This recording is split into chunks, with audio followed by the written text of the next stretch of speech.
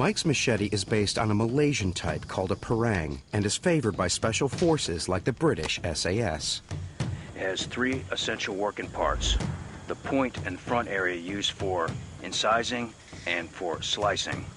The middle part here where it bows out is your heavy lifter for uh, your chopping and your cutting. And then this fine curved part right here is what we use for our carving and our whittling. In the jungle, the machete is the most valuable survival tool. It's so useful Myke can survive with nothing else. No lighter, no water canteens, nothing. So far, I've had all the creature comforts at home for me. And tonight, just me and her. It's getting late, and without his hammock and mosquito net, Myke needs to think about a different bed for the night.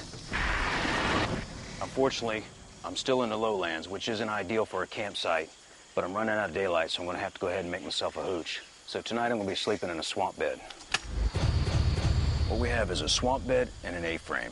The swamp bed simply has four little tripods of about two foot long sticks lashed together and then spread out.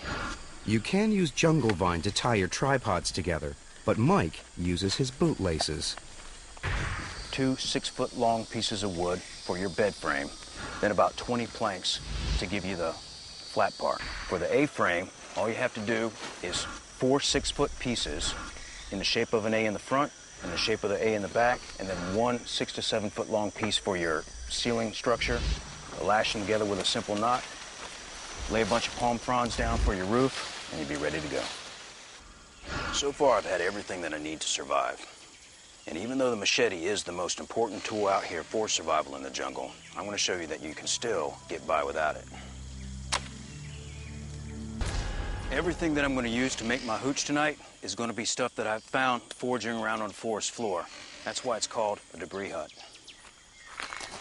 There's still plenty of daylight, but with no tools, Myke knows he needs extra time to build a secure, dry shelter to keep him safe from the jungle and its nighttime dangers. This tree right here gives me very good shelter on three out of four sides, so I don't have to worry about any big creatures coming up on me in the middle of the night.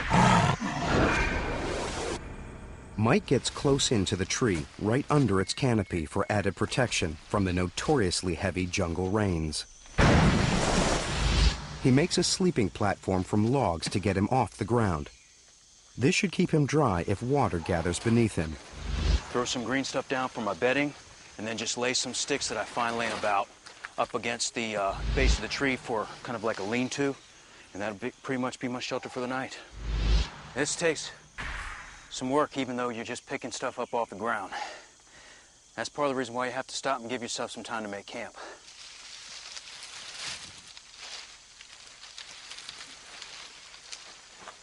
I'm in my next hooch, my debris hut, and it's looking pretty good from inside. Little bit of a hole right there, but most of it looks pretty watertight. So even if it pours down rain, it should be pretty good. Now that was not a five-star hotel night. Everyone imagines they know the dangers of the jungle. But Myke knows that the real killers out here are smaller than you might think. There was a mosquito heaven out here. So I had to stay covered up. Couldn't even take my boots off. And I had to sleep pretty much underneath my scarf just to be able to breathe. They were that thick. The bad thing about the mosquitoes isn't the miserable itch fest that they cause, is it's all the diseases that they carry. I mean, they're a jaguar, anaconda, caiman, piranha. It'd be a sad thing to survive all that and just to die from some disease. The bottom line is, a tiny mosquito is more likely to kill you than any other creature in the rainforest.